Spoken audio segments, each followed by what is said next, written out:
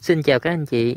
Ở clip này tôi xin chia sẻ lại quá trình tôi để nhân giống một cây môn đỏ Caladium bằng phương pháp là cắt ngang và dăm cành. Thực sự thì chậu môn này sau khi mua về đã bị gãy ngang.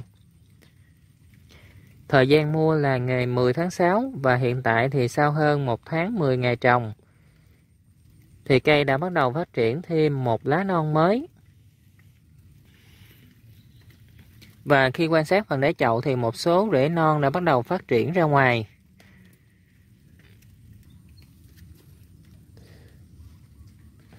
Ở đây tôi sẽ tiến hành tháo phần giá thể trồng và kiểm tra sự phát triển bộ rễ của cây.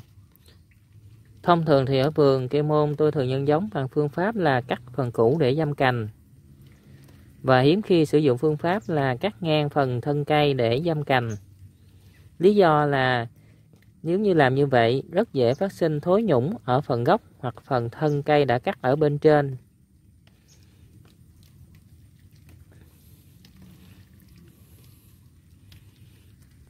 Và đây là toàn bộ thân cây và bộ rễ của cây sau khi đã cắt giam cành được 1 tháng 10 ngày.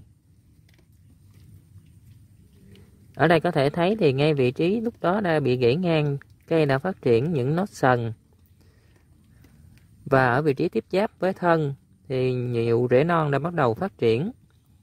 Và thậm chí ở đây một chồi non mới đã bắt đầu mọc lên.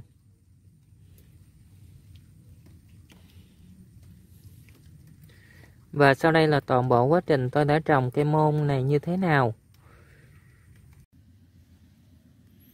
Ở đây là một giống môn đỏ đã bị gãy ngang ngay cổ rễ, và tôi tiến hành thử giam cành xem cây có sống được hay không.